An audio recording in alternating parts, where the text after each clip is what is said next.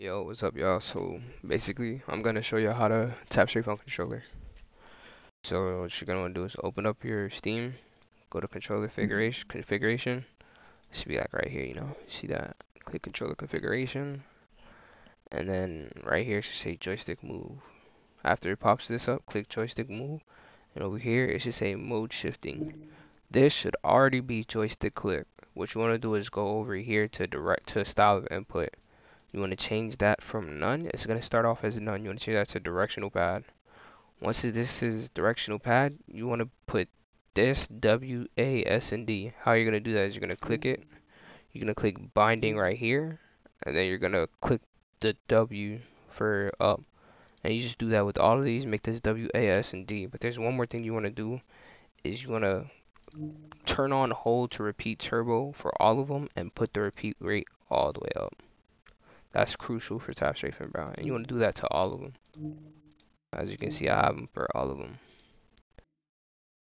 Basically, what that's gonna do is it's gonna make it so that every time you click your left your left stick, whichever direction you have it facing, it's going to input that as W A S or D. Alright, for instance, right now, you see how I'm walking up and it doesn't show any keyboard input?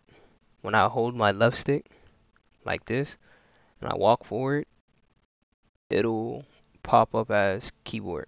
Like it'll be a keyboard input. When I hold my left stick to the left, it'll go to the left. See how it's going to the left? But I'm holding my joystick. I'm not touching my, my keyboard. Now when I hold my keyboard, my joystick back, I click my left joystick and I hold it back, it's going backwards. So basically this helps to tap strafe in any direction you want. See? As long as you're holding your left stick, you'll be able to tap strafe in any direction you want. Now, ways you can utilize tap strafing is by hitting corners. You can utilize it by hitting corners. You can utilize it to get inside of doors. You can all tap strafing is doesn't only involve sliding. You can also like jump and like control it too. It's easier to control when you jump like you can choose where to go more fluently. You could also use it to wall jump, you know? There's a whole lot that you can do as you progress into tap strafing and as you watch more YouTube players. The way I learned the techniques that I know is I watched YouTube players play. I watched people like Faide, I watched people like Aceu, people like Ecstasy, Finesse, and people of that type of playstyles, you know, because they all have a sort of what the heck? They all have a sort of similar playstyle. So apparently my game just crashed, but yeah. So basically, that's what you want to do is you want to watch more and more um YouTube players and try to adapt what they do into your own playstyle.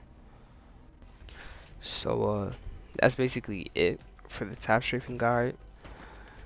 Um, all the mechanics and all the movement that you see all these YouTubers do. It's not really something that you can learn, teach somebody. It's something that the person has to learn by experience and playing the game on their own and practicing in the firing range. If you want to get better with tap strafing and learn how to tap strafe more in more dynamic ways and in a variety of ways, you have to practice and practice and practice. I can't stress that enough.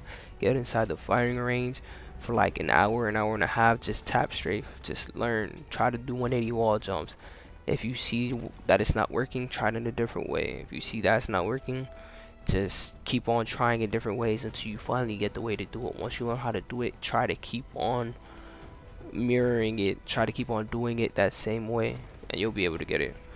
But uh, that's it for this for this video on how to tap strafe. I hope you guys enjoyed it. Um we're almost at 600 subscribers you know. Please subscribe. Please drop a like comment. You feel me? Can we get to like 700 subscribers by the end of the week? It's all up to y'all. If y'all want to make that happen then i'll be delighted and i love y'all. Peace